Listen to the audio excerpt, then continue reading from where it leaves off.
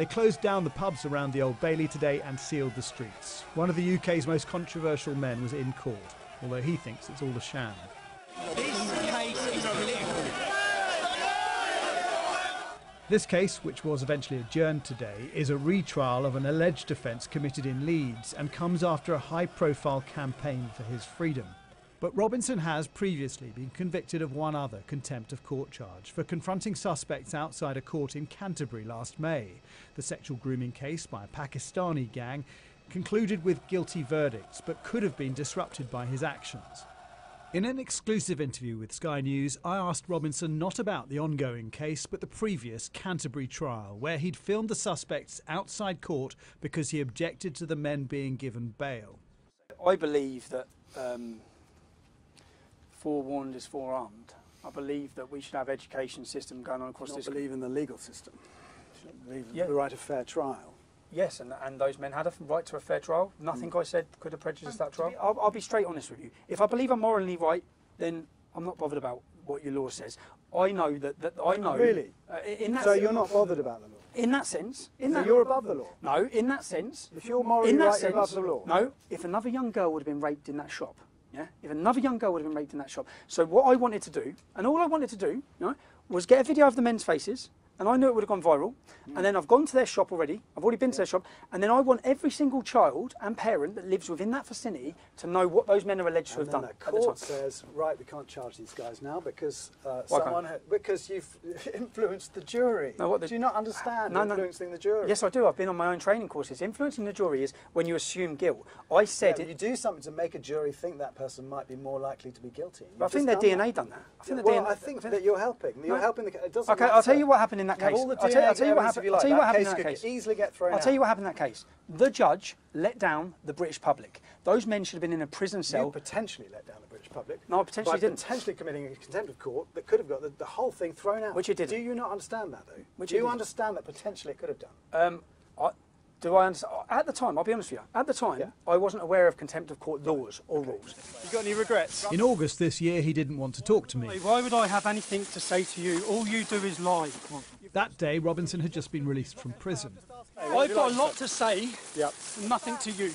His second contempt conviction over actions outside a court in Leeds had just been overturned. But he knew a retrial could see him going back inside. What does your wife think of all this? Was my What's, wife? what's the, what, yeah, what, does she So, tell you to, to, to give it up? I'll Does be, she- I'll be honest. I explained to my wife on this issue. I said that um, I'm going back to prison, and her answer was, "I'll still be here when you get out." So, which is what I needed to know. And, and and I'll be honest. When I landed in prison in Hull prison, the first phone call I made was they give you a pound's credit. So I rang my wife and just I asked her, "Have you had enough yet? Have you had enough yet?" Because obviously, What did she say? um, she just couldn't believe what happened again. And it's mainly we had so. It's my children. I missed two of Yeah. their birthdays. I am currently banned from attending any demonstration. The founder of the English Defence League made his name railing against the Muslim community over terrorism. He believes their holy text, the Quran, is designed to incite violence and create extremists. You've read the Quran? Uh, I have read the Quran. You only, read the Eng- only the English uh, version. And what so did you I think? Speak, What did you I think? don't speak it. I don't speak. What did you Well, think? What did you What do you think? I'm, I Well, the, to hu- there's 109 verses in that book that incite war and murder against non-Muslims. So I thought pretty, pretty. Well, Jesus said, "I do, have not come to bring peace, but a sword." So yeah. So is he responsible for knife crime in London? Um, if, the, if they were holding up that verse, if every single knife criminal was holding up that verse saying Jesus told me to kill him, so I Well, killed him, I'd be saying, saying- I'd be saying yes, that verse is responsible. Do you not think they've got a warped idea? I mean, we, we're not. We don't see Christians running around with swords. Do you not think they have a warped idea of what the Quran is actually preaching? Um, after reading the Quran and understanding abrogation and understanding that what, what Muhammad says later in his life supersedes what he says earlier, un- after understanding all of that, now I believe that they are um, following out literal, the well, then literal I would say to you that you've been radicalised. I, would you? Yeah, I'd say that you're following the same understanding of Islam as the people who listen to Omar Bakri, who listen to Abu Hamza. Um, no, not just. If you really believe that, What about the 60%, 66% of people who would not report on a terrorist? Would you say they've been radicalised? no, I'd say you've been radicalised because Oh, you okay. believe in the same things as the followers of Abu Hamza. So because you I- and your support, you're the only people who believe would take that literally, take the idea of not come in peace but bring a sword. Oh well, I better get a sword out. No, that's because I understand Islam. So I, You're not a theologian. I- you don't understand it. I do understand. You're Islam.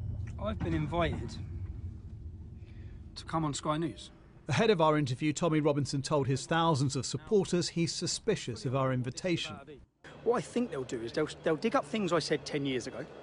They'll say you joined the BNP when you were 20 years old.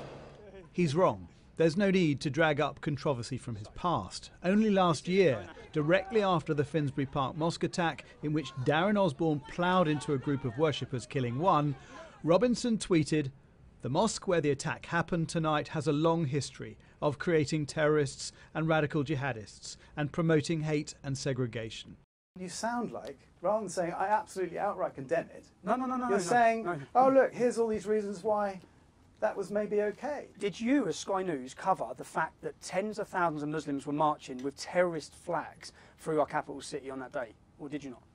I, I, I, Do you not think it's news? Are you? Are you? Are you? It's saying again. Seems to sound like you're kind of trying to justify I'm what a- he was doing. I'm gonna there was ask a you- march. no, I'm- there was a march. There was so a, no, there was a terrorist march, and and and there, there, and Darren Osborne tells everyone quite well, clearly how do you why say he it's a done. it. terrorist march? Because was- they were he was marching the terrorist that day. They were marching with terrorist banners, terrorist flags through the capital, Darren- shouting "Bomb, Darren bomb, bomb the Osborne Jews." was the terrorist that day. Yes, you're you right. accept that? Yes, you're correct. yes.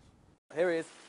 Home Secretary Sajid Javid recently said that high profile cases of gangs of men who sexually abuse children have been disproportionately from a Pakistani background.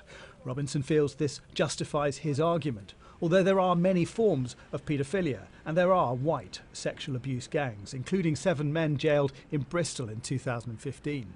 If you're worried about grooming gangs and paedophilia, why aren't you outside the courthouse of a bunch of white paedophiles who are raping toddlers and babies in 2015? Why And, aren't I, you there? and I'm telling you that these gangs have been allowed to do it for 30 years. But I'm saying, what about the Catholic Church? Tens of thousands of children. Why are you not outside their court I despise the? Catholic Church. Operation Yewtree. Have you ever stood outside an Operation Yewtree trial? Have I? No. Why not? Is it uh, because they're white? No, it's not. Is it because they're not Muslims? Uh, no, it's not. No. What It's about what about sex tourists? As I've just told you. What about people like Gary Glitter who go abroad you. and rape children in Cambodia or uh, Do you know what? Philippines? Do you know what? Does that your job? you? Your job. I'm actually, unfortunately, I've had to come and fill a void and do your job. You're the mainstream media. No, I'm just asking you why I'm you don't do that. And I'm telling you because I've focused on exposing a phenomenon across this country. If you go to Holland, they actually created an educational video to be shown in schools to warn children about these crimes. When they tried to show that in Britain in 2007, the British establishment would not allow that video to be shown because, like you just go, oh, it will incite racial hatred. So because of people Well, with it is going to it's going to incite it is going to incite fear to suggest suggest that when you also know that there are like the group in Bristol white paedophiles. Do you know what? Do you know what? I- all I'll be honest with you. Yeah. I don't care if it incites fear, so long as it educates the children and prevents them being raped. Okay? Do you really want to leave this into in the, with the thought that you're happy to instill fear of a, of a community of, of 3.8 million people? If you watch into- every speech I've ever give, okay, I make it clear that it's not all Muslims.